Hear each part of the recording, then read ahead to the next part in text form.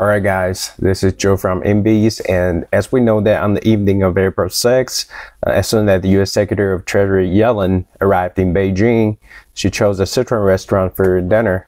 I heard that Yellen took the initiative to ask the US staff to eat Sichuanese food. And in fact, it is not new that Sichuan cuisine is loved by senior officials from various countries. I remember that Obama once came to Sichuan specifically asking to try hot pot. Former British Prime Minister Cameron used chopsticks skillfully at a hot pot as well.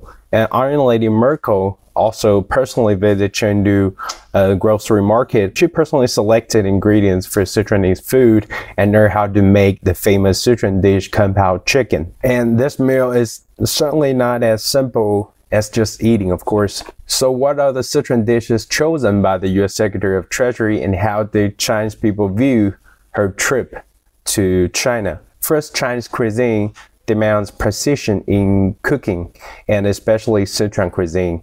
Uh, whether it's dry frying or stir frying, a mastery of the heat is pretty crucial. And this time on her Sichuan cuisine menu, stir fried hollow steamed vegetables, twice cooked pork, I think it requires such precision in temperature control. For Yellen, the US needs to handle the temperature of US China relations as well ensuring they stay on the course and explore the right path forward for both countries through interactions and communications without stalling and colliding.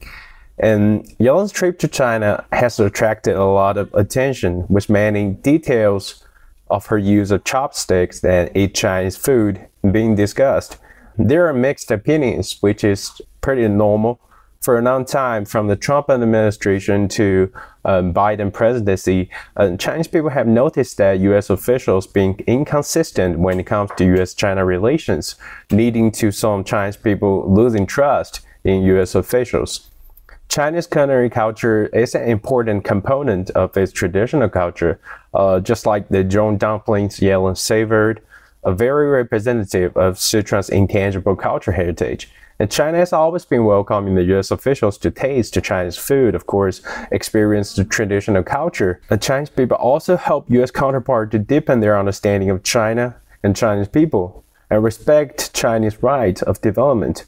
So for example, before Yellen's meal, restaurant staff introduced Sanxingdui relics unearthed in Guanghan of Sichuan province, like over 1,000 year old Song Dynasty porcelain and presented China's intangible cultural heritage through embroidery to her. And Politico commented as a significant breakthrough in US and China relations on its website. Against the backdrop of a more uncertain and even negative factors in US and China relations during the US election year, I think Yellen's trip is seen as an important signal for both countries moving towards stabilizing and improving relations. Therefore, I think Yellen's goal of this trip is to strengthen dialogue and communication, avoid misjudgments, promote cooperation, advance the stable development of bilateral relations, and jointly tackle uh, global challenges. Like we have heard a lot about the diplomatic words these days, but how much sincerity does Washington hold for this trip?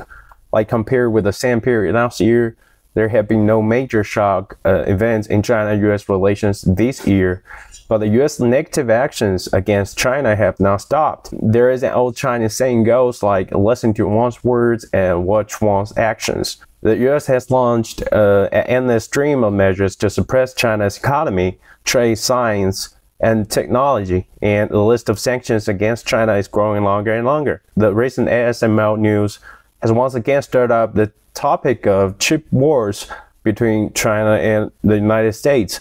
At the same time, the Yellen's visit to China, U.S. Secretary of Commerce Raimondo and Trade Representatives Katherine Tai were also encouraging necessary countermeasures against China's chip industry while during their presence in Europe. So by saying one thing and doing another, I, th I think the U.S. is sending a more complex message to China and to the outside world, like making it difficult for China to believe that U.S. has given up its strategic goal to suppress China uh, as an opponent.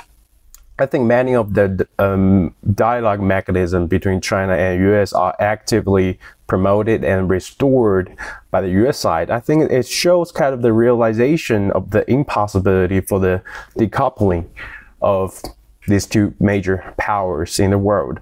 Like the US can bear the cost of the comprehensive conflict with China, and China and US will both benefit from cooperation and lose from confrontation. So this is not an empty saying. You know, seeking cooperation, I think, is a necessity for both sides, and it's it's not a choice.